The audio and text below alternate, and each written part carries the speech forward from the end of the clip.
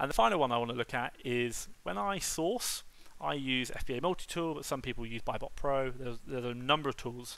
One thing I really like looking at is this product or this section down here.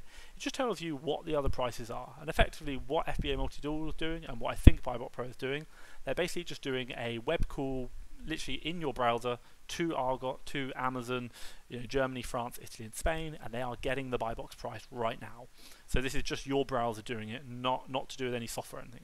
It's in the software on your computer. So I might go, oh, actually, look, this this product is selling. You know, I can buy it for maybe six pound. I'm selling it for nine, not very good.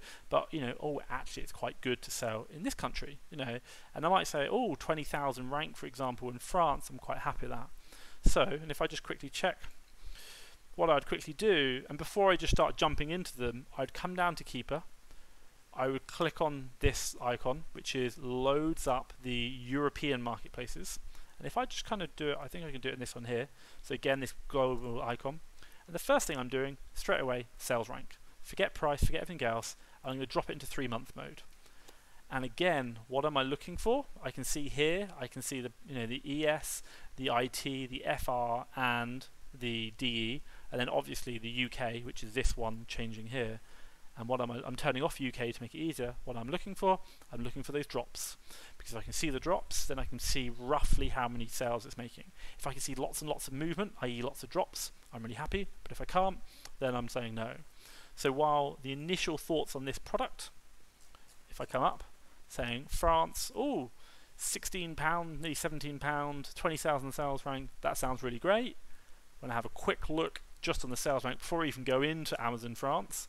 I can see here France FR is doing 16,000. It's okay. It's not brilliant. I might want to have a little bit more. But if I was looking at, say, for example, like, what's this one? IT, it's sold twice in 90 days. Just not interested in that at all. So, that's a little bit about me looking at can I sell product into Europe and I'm again looking at those drops and how I would do that very quickly just by clicking on the global icon there. Hopefully you found this really useful, really informative. Um, please, please, please, if you like it, give me a big like. I love like, or give me a love heart. Honestly, love love hearts. Um, and also drop some comments. Drop comments down below. Even if you just liked it, hey Tom, love this, thank you so much. Um, or if you've got questions, please let me know. Drop them down the bottom. So, for me, Thomas Parkinson, Fast Track FBA. Thank you very much.